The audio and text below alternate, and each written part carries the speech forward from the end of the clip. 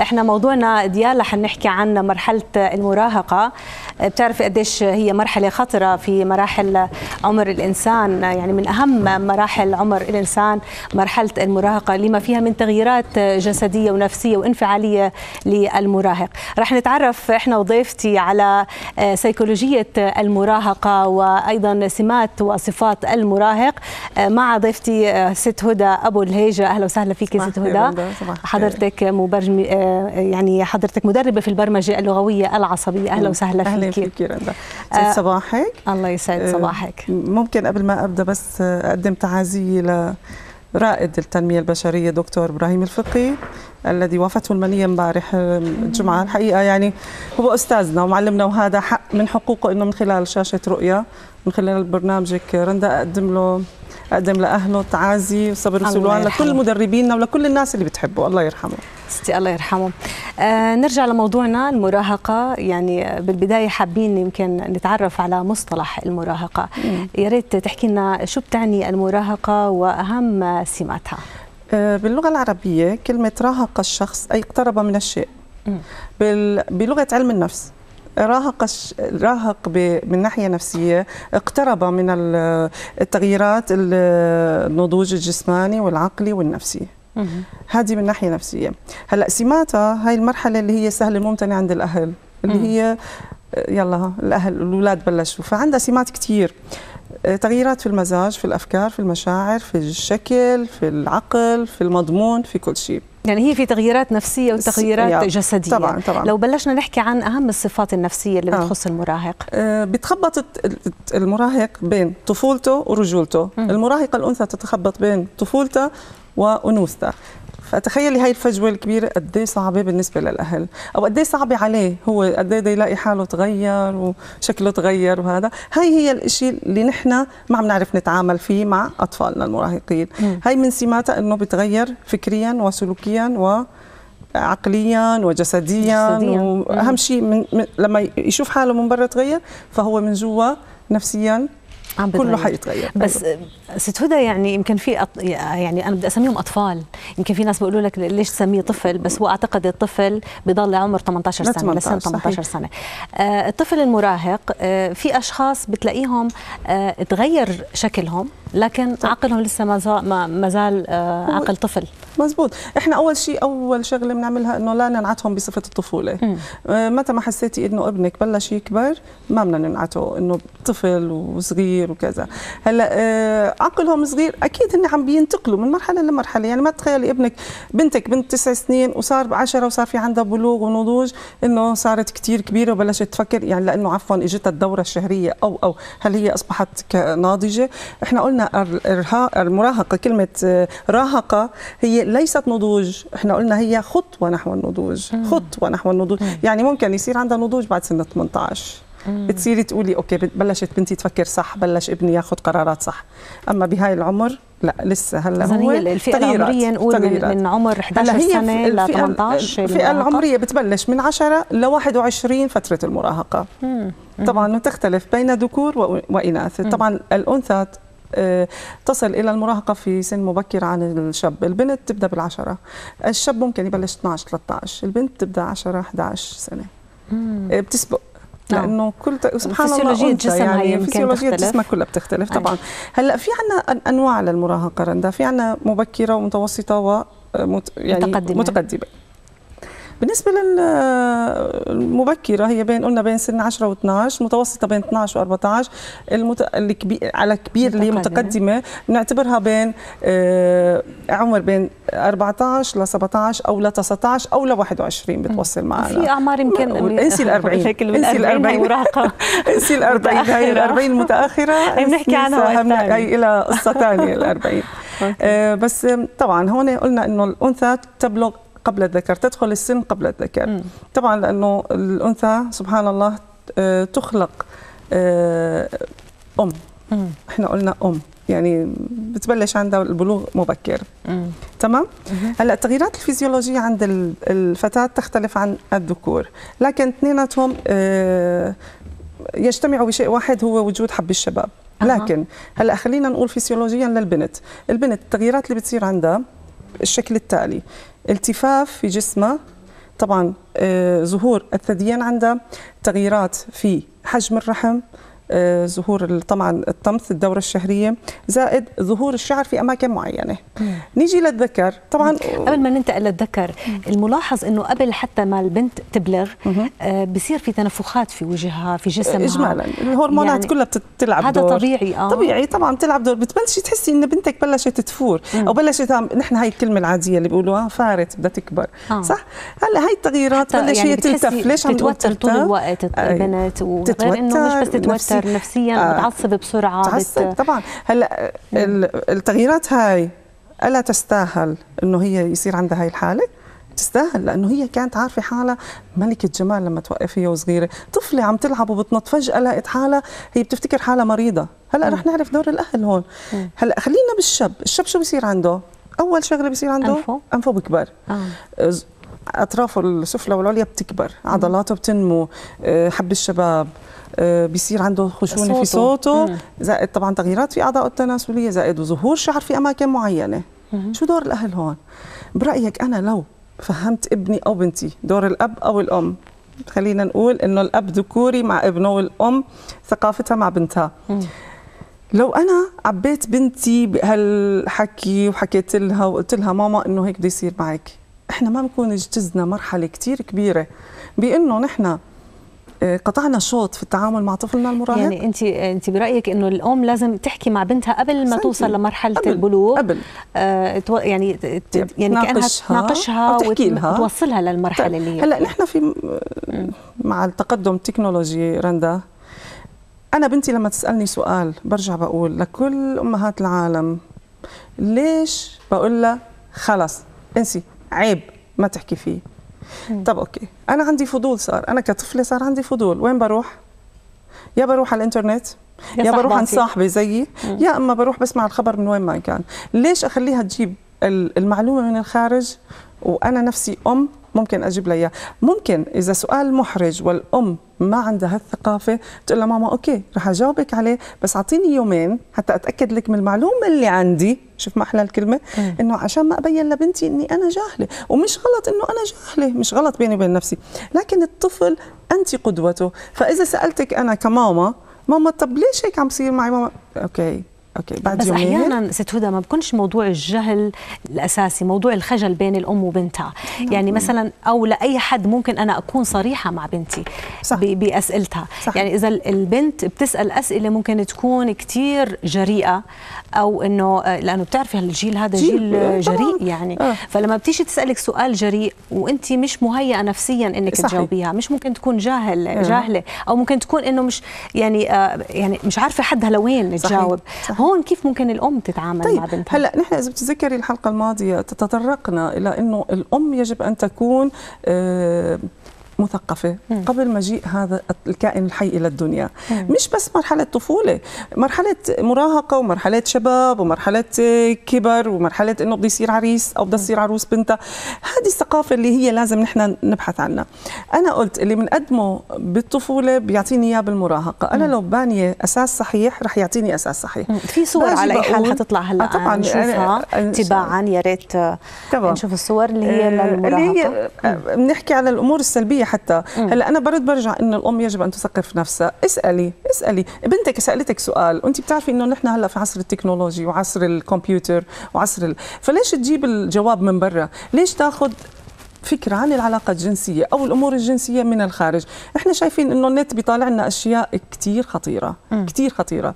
لا أنا باجي بقول علميا وثقافيا شو اللي بده يصير فيها؟ ليش ليش ليش الله خلق لها الثديين وعم يكبروا؟ ليش ليش يصير عندها انزواء؟ لا بحكي لها إنه ماما نحن بدنا نكبر انت حتصيري أم ربنا أعطانا. حتى الحيوانات في لهم الأنثى في لها الذكر. في كثير ثقافة كثير حلوة إنه نحن نقدمها لل- للصبية قبل ما تكبر. إحنا هيك بنكون خطينا خطوة أولى رندا نحو إنه نكون آه، امتلكنا هذا الطفل اللي عم يكبر واللي أصبح هو أنا صديقته حلو. والأب هو أنا صديقه طيب هلا موضوع الأم والبنت آه، يعني ممكن يكون مفهوم بين البنت وأمها. آه. لكن لما يكون الولد مع أمه آه، يمكن الأب قليل ما يمكن يلاقي وقت إنه يقعد مع ابنه ويشرح له آه، تفاصيل دقيقة بخصوص آه، فترة المراهقة.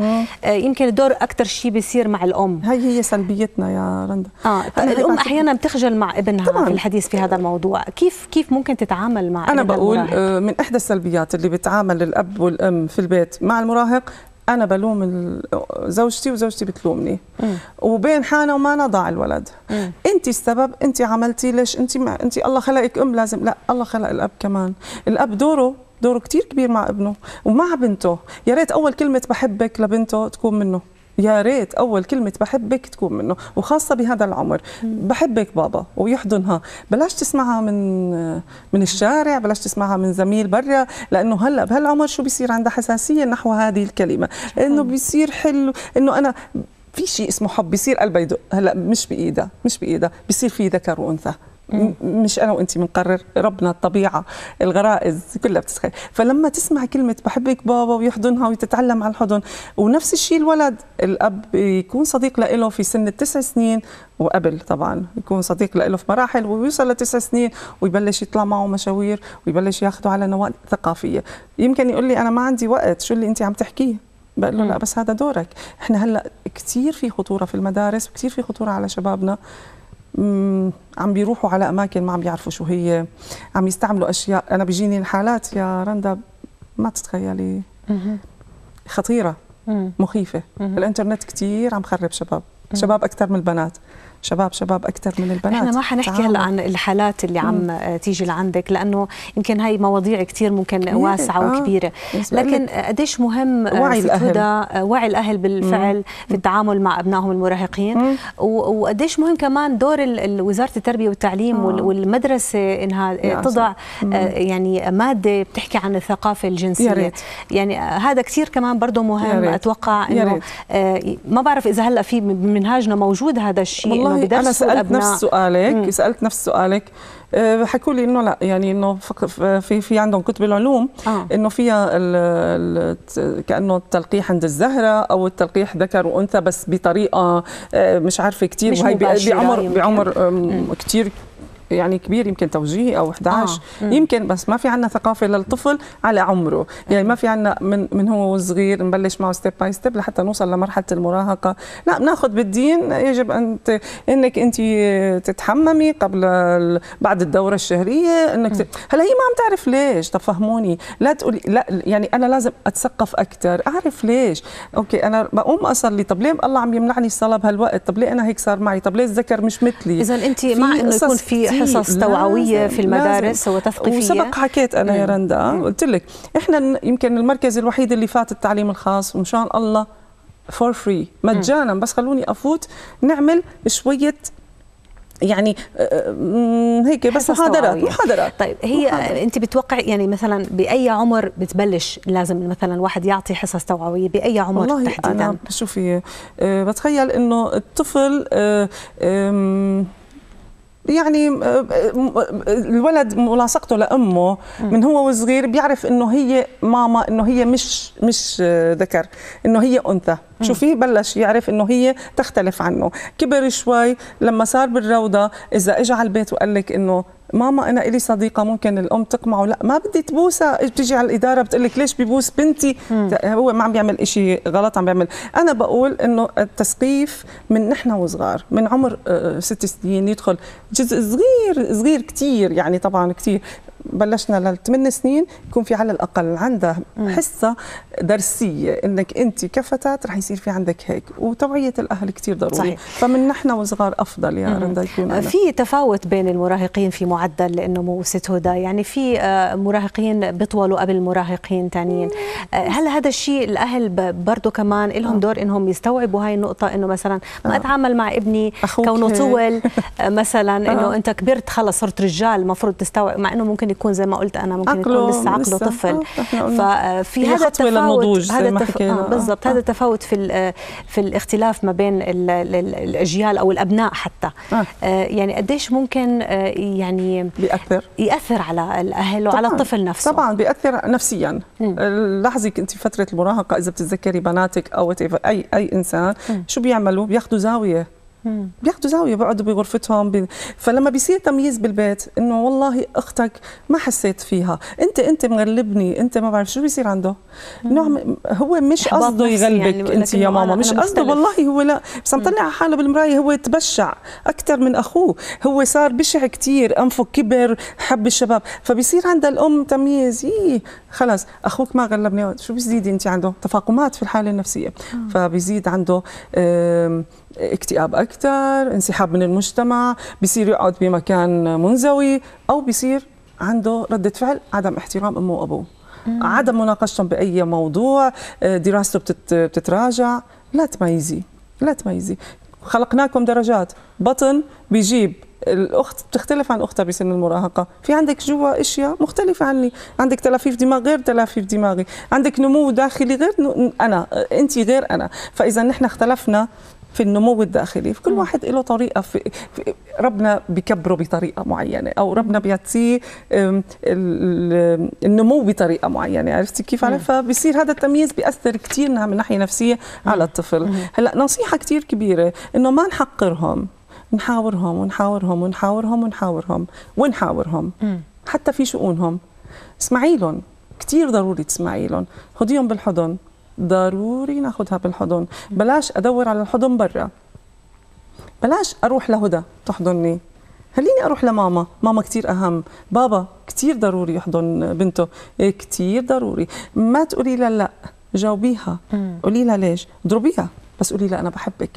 أنا ضربتك لأنه أنت غلطتي. أو أنا زعلتك لأنه أنت بس أنا بحبك لذاتك لشخصك.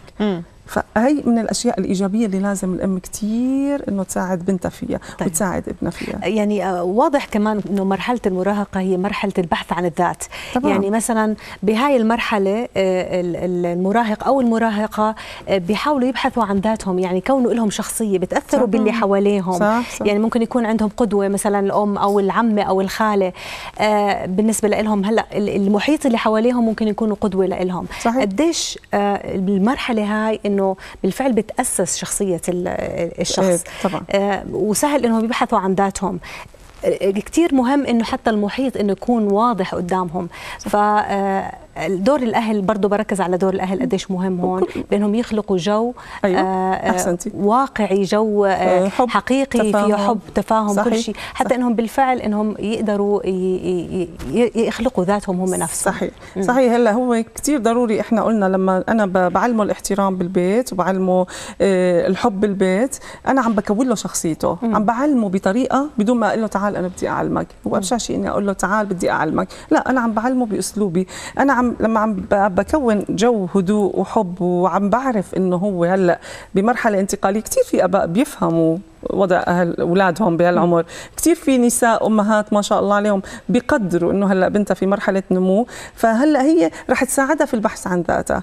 بإنه آه، تتركها بأجواءها هي حبت تقعد بغرفتها لحالها تيجي تساعدها ماما بتحبي أساعدك ما يعني هي عم تسقلها شخصيتها. هي شخصيتها موجودة لكن هلأ هي في تخبيط في تخبيط. أهم شيء إنك ما تقارنيها ببنت عمها أو ما تقارنيه بابن عمه. تركيه هو ياخذ ذاته يبرمج شخصيته بالطريقة اللي هو قومي قومي. يعني انت شوفي اخطائه قولي له ماما هيك غلط هيك صح. بنفس الوقت ساعديه ساعديه على النمو. فشخصيته كثير آه، بتتبلور بطريقة صح. رح يوصل لسن 18 ويقول لك شكرا. إنك انت وقفتي جنبي. أكثر من إنك انت آه، قمعتيني أو قارنتيني أو ما احترمتي رأيي.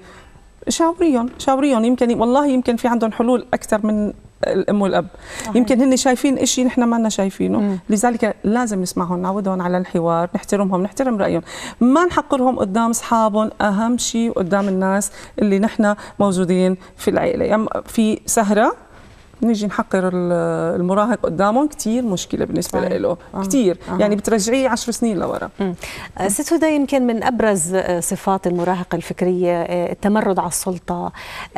ممكن يكون مثلا شخص بتحسيه بميل للانتقاد دائما بيطرح الأسئلة دائما. آه طبعا بده يعرف. آه بده يعرف كثير فمثل هاي النوعية من المراهقين يعني هل نتعامل معهم بطولة بال؟ هل يعني في في أشخاص يمكن قد ما بيضلوا يطرحوا عليك الأسئلة مرات بتنرفزي أو مرات آه. ما بتحسي حالك إنه مش قادرة تضلي تجاوبي برجع بقول ليش نحن أمهات آه. ليش نحن آباء آه. ليش لازم نثقف حالنا قبل ما يجي هذا الطفل ليش م. لازم نكون على دراية بإنه هذا العمر رح يجي ورح يسألنا أسئلة ورح آه، رح نكون